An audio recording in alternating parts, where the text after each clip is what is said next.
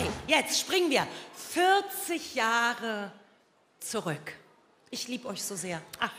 Okay, Sie waren in einer Sendung mit gleich zwei Titeln vertreten. Aus der Taufe gehoben wurde die Band von niemand Geringerem als Ralf Siegel, mit dem ich später noch reden werde und der Katja Epstein am Flügel begleiten wird. Und nicht nur bei uns landete die Truppe auf Platz 1, nein, auch in der Sowjetunion, Japan, Australien und Israel ging es ganz nach oben auf das Erfolgstreppchen. Hier sind The One and Only, hier sind Genghis Khan.